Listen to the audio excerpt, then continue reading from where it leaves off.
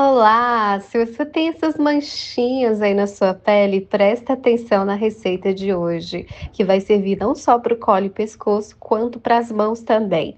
Para aprender a retirar essas manchinhas com receita caseira, você vai precisar do amido de milho, vai precisar também do vinagre de maçã.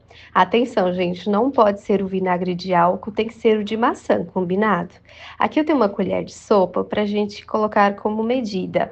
Vou colocar aqui aqui dentro mais ou menos aí duas colheres de sopa do vinagre de maçã.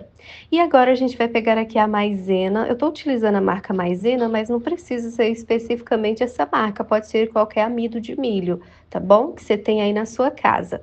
Você vai colocar mais ou menos uma colher de sopa não muito cheia, vai dar uma mexidinha e vai virar assim um cremezinho branco, olha só, fica parecendo leite, gente. E é essa misturinha que em um tempo recorde vai eliminar essas manchas do colo e pescoço e das mãos. Se você tem essas manchas, com certeza você deve ter pegado muito sol ao longo da vida, não usou protetor solar, Bom, e é por isso que a gente vai passar ela, tá bom? Antes de passar no seu colo e pescoço, recomendo sempre, é sempre recomendado que faça um teste alérgico.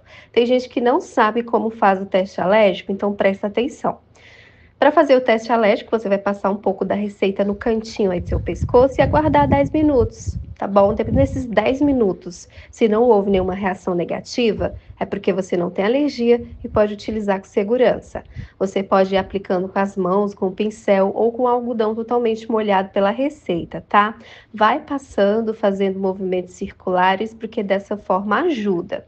Na hora da aplicação, é muito importante que sua pele esteja limpa e seca para que assim absorva com mais eficiência, tá?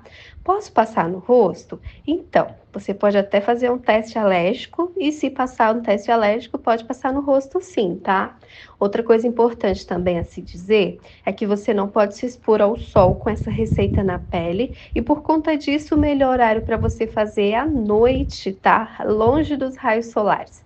Agora, se você quer fazer durante o dia, é só ficar quietinha aí dentro de casa, pois se você sai no sol com essa receita na pele, você vai ganhar manchas ao invés de estar retirando. Então, faça-o à noite ou dentro de casa quietinha.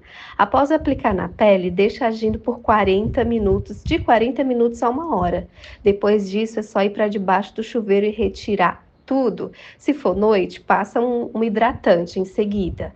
E se for dia, passa um protetor solar. É importante passar o protetor solar todos os dias pela manhã, se você quer ter uma pele livre de manchas e rugas. Gostou da dica? Onde você tem mais manchas? No colo, rosto, pescoço ou mãos? Deixa aqui nos comentários que eu quero saber. Beijinhos!